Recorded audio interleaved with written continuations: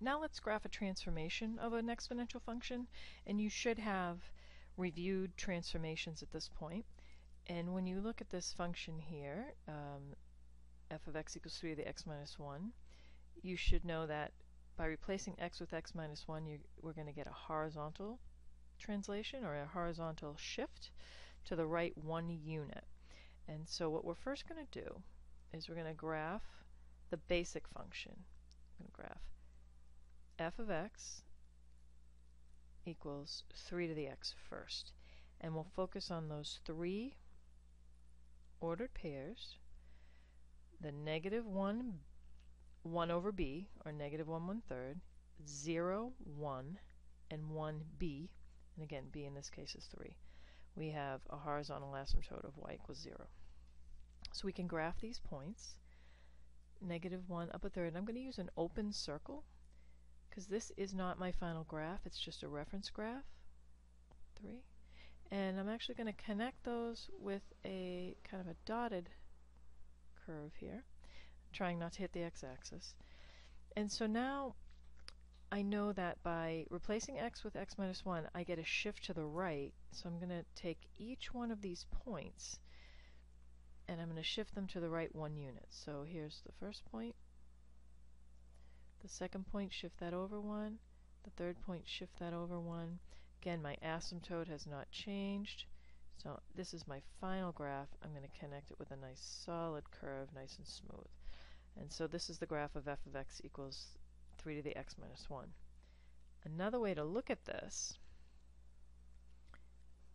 is to look at the ordered pairs. This is a kind of a, another way to actually graph one of these. Is instead of graphing the rough sketch first, if we just ask ourselves, what happens when you, we have a horizontal shift to the right? What's really going on is that we're going to add 1 to each x value. And so I'm going to take my original ordered pairs,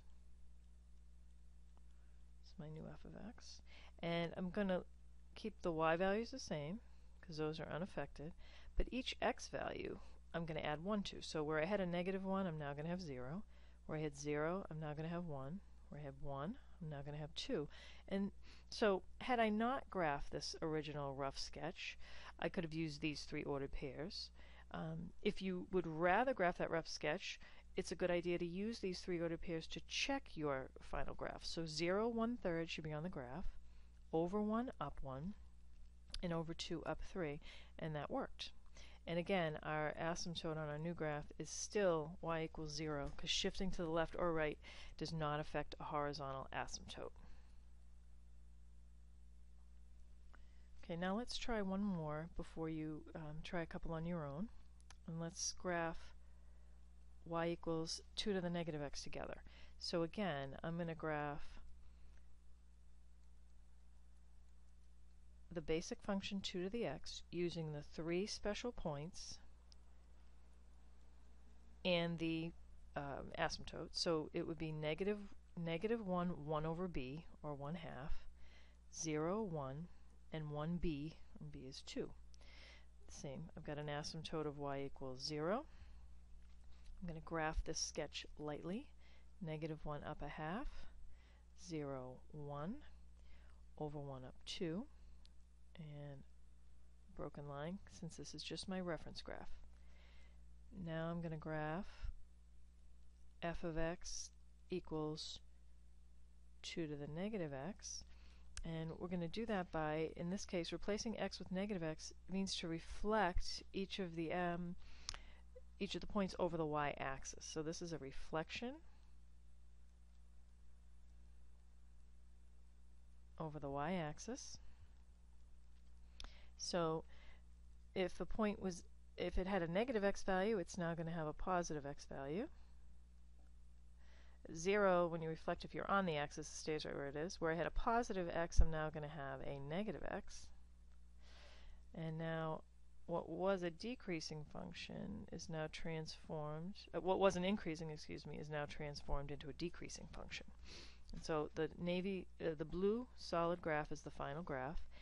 And let's do that again. Let's check that by using by altering the ordered pairs. And so when you reflect over the y-axis you change the sign of every x value. So our y values remain the same.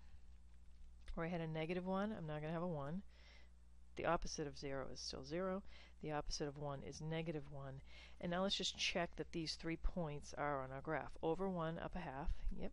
0 1 negative 1 up 2 so at this point, I'd like you to pause the graph and I'd like you to graph the next problems on your own.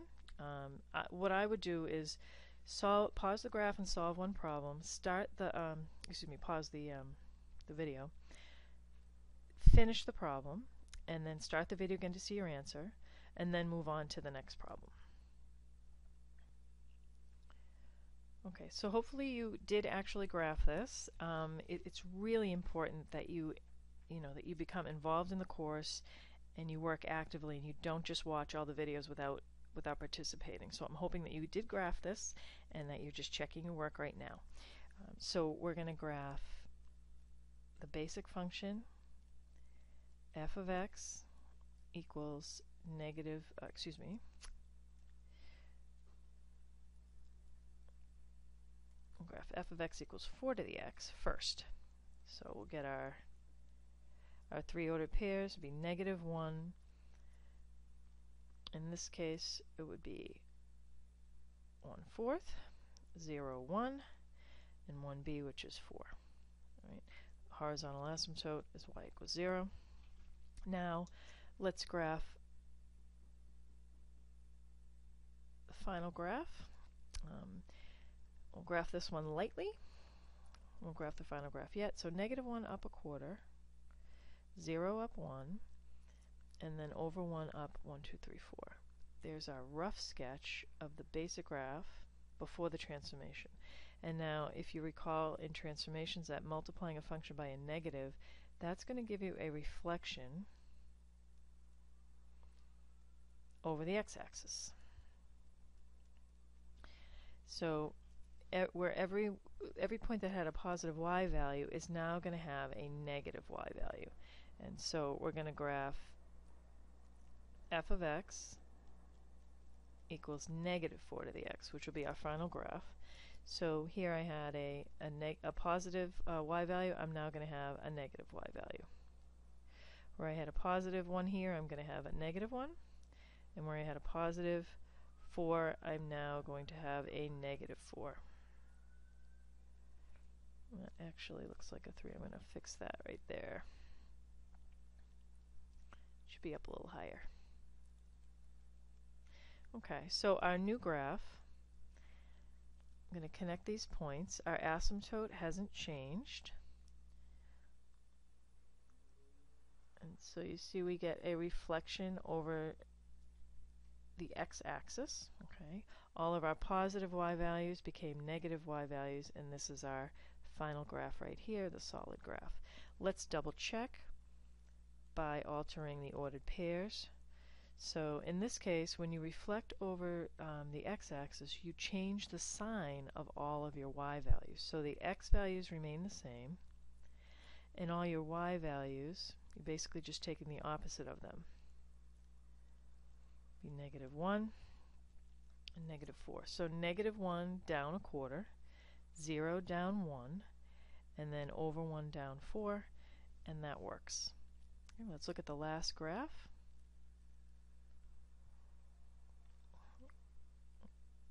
the last couple of questions. Um, write the equation that results in shifting the graph of y equals 1 third to the x 5 units down and 1 unit to the left. So we know that to shift a graph 5 units down, we would have to subtract 5 from the function. And to shift it to the left, we'd have to add that 1 to the x. Right, so there's your new function.